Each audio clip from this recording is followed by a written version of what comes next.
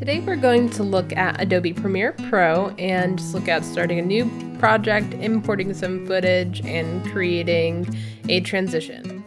Click on New Project to begin a new project and name it and put it in a folder where you can stay organized with your project documents. So I'm just creating a new folder so that way I can keep all of my project files in there. And then when I'm done with that, I will click OK and it will begin a new Premiere Pro project.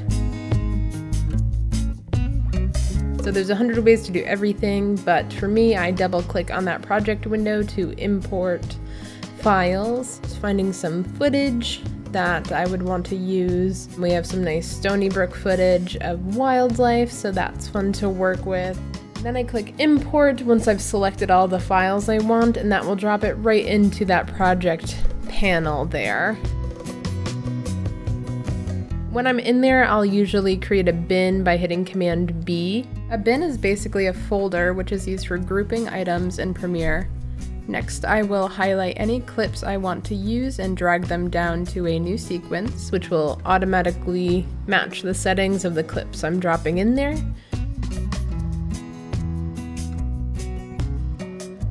So I just start playing the footage and deciding what I want to use. I'm trying to avoid anything too shaky, so I'm scrubbing through the footage and looking for some good clips in here. So I'm just gonna do a couple clips and then export it so you can see what that's like. I'm just using the blade tool to make a cut and then deleting the footage that I don't want. I'm going to do that until I have a couple clips that I like together. So I just scrub, and then make cuts. I used Command K there, that's why you didn't see the blade tool. It's just a shortcut to make a cut in a video. And then here I'm going to do something called a ripple delete. So this whole chunk I don't want, I um, just do a ripple delete and that stops any gaps from appearing in the uh, timeline there. So what I'm going to do is just, like I said, cut up a couple clips and then to create a transition, you're going to find a meeting place or the beginning or end of a clip.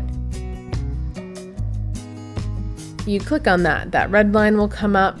There's a couple ways to add um, a transition. I dragged and dropped a cross dissolve there so you can see it kind of fades one clip into another. You can do whatever transition you like though.